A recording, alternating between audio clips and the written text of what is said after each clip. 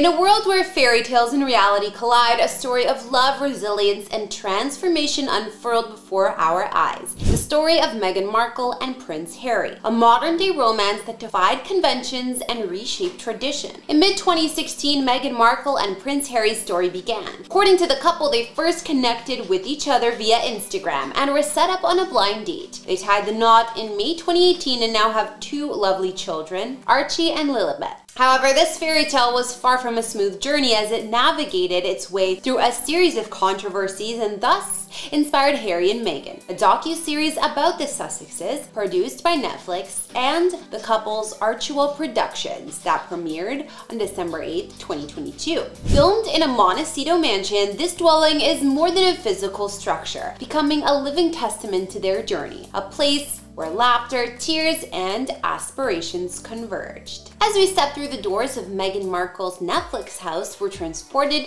into a world of luxury that mirrors the exceptional nature of their relationship. Every corner of this residence whispers tales of extravagance, seamlessly blending modern elegance with timeless charm. Designed with a touch of regal elegance, the Mediterranean style abode boasts six bedrooms and spans an impressive 13,599 square feet. Offering breathtaking vistas of both ocean and mountains, the residence is adorned with numerous terraces, Inside, a grandeur envelops the space, enhanced by a majestic chandelier gracing the great room. Then there's the arched windows that frame each view, a space where Meghan was extensively filmed for the show's interviews. Located in sunny California, the home was meticulously crafted in 2006.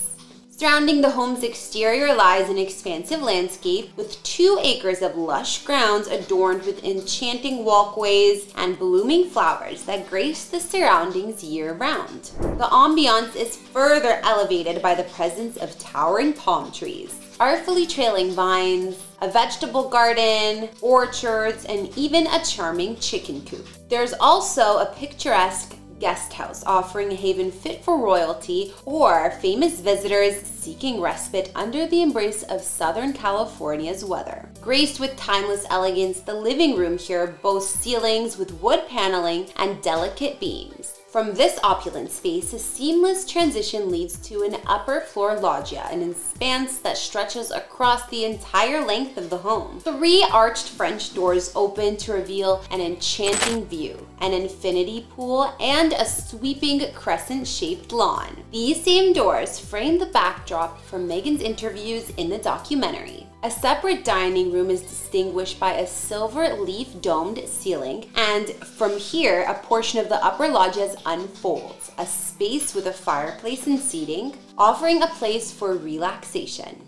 The residence's open floor plan has an eat-in chef's kitchen with soapstone sinks and marble-topped island. Flowing seamlessly, this culinary space merges into an informal dining and living room. Here, there are dark, wide plank wood floors. The main level shows the opulent primary suite, a sanctuary with dual boutique-style dressing rooms and ensuite baths. There's also an inviting pool that's perfect for leisurely dips or moments of relaxation. Among the residence's many highlights, there's a paneled study, a well-equipped gym, a captivating theater, and an inviting bar. Elsewhere, you'll find two games rooms, a five-car garage, and much more. In this mansion, each corner is a masterpiece, and every element, whether it's the soaring ceilings or the intimate covered patio, contributes to the elegance that defines this residence. Currently, this Montecito mansion is available for purchase at the sum of $33.5 million. This listing is being overseen by Ryan Malmston of Santa Barbara Brokers. Looking at the listing, you can see the captivating visuals that offer a glimpse into this enchanting property. However, the intrigue deepens when considering Prince Harry and Meghan Markle's connection to the house. Initial speculations swirled regarding them owning this residence, Yet it was confirmed that the house belonged to someone else and they just rented it. According to sources, the Montecito mansion seen in the show is located about three and a half miles away from the couple's actual residence. Glimpses previously shared by the couple hint at a design similarity between the two houses, both embracing a laid back, California cool aesthetic, complete with one distinctive feature the chicken coop. Interestingly enough, the estate featured in the documentary was purchased by businessman Mark Schuloff in 2013 for around $14.6 million. As the narrative continues to unravel, the allure of this Montecito mansion remains intact, serving as a symbol of elegance and style that continues to captivate on and off the screen.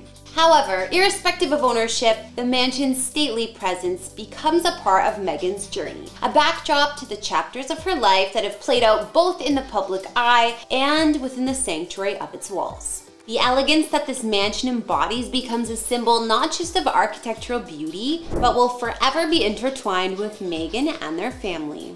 Now that will bring today's Meghan Markle's Netflix house tour to a close. But before we go, answer this question for me.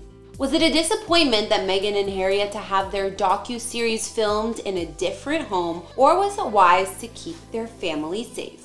Let me know in the comments below and don't forget to like, subscribe, and follow me on Instagram to chat. I'm Kara the Vampire Slayer and I'll see you all in another video. Bye!